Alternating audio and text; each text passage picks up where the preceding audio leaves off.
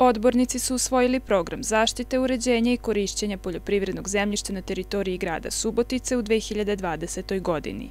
Skupština grada program donosi po prethodno pribavljenom mišljenju komisije koju obrazuje gradonačelnik i u saglasnost Ministarstva poljoprivrede, šumarstva i vodoprivrede.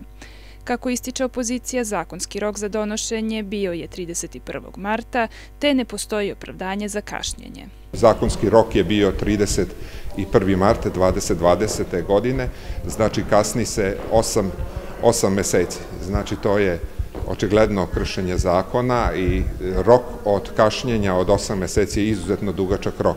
Tako da ne mogu da prihvatim opravdanja koje su dali predstavnici vladajuće stranke da je kašnjenje bilo opravdano. Jer svi oni koji su pokušali i koji su želeli da se prijave za licitaciju ove zemlje i koji su želeli da zasade određene kulture na toj zemlji, sada će biti prinuđeni da zasade one kulture koje su dozvoljene da se zasade u decembru.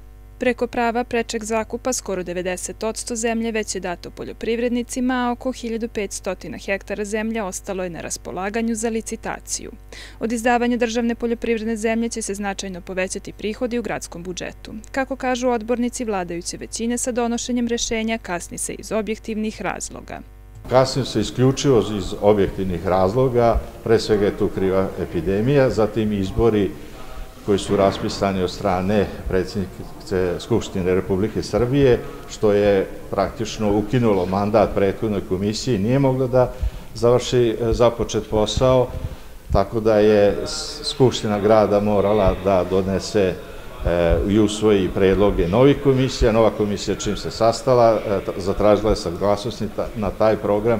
Tu se malo čekalo oko tih saglasnosti, jer su veliki subjekti društva e, daju mišljenje na to, veliki broj, pardon, i na kraju smo evo dobili ovih dana tu tu odluku je Skupština donela. Odbornici su između ostalog doneli i rešenje o imenovanju direktora ustanove Zološki vrt Palić. Za direktora je imenovan Petar Savić koji je ovu funkciju vršio i u prethodnom mandatu. Doneta je i odluka o izmenama i dopunama odluke o osnivanju turističke organizacije grada Subotice i rešenje o davanju saglasnosti na drugu izmenu programa poslovanja Fondacije za pomoć pri lečenju teško obolele dece i omladine sa financijskim pokazateljima za 2020. godinu.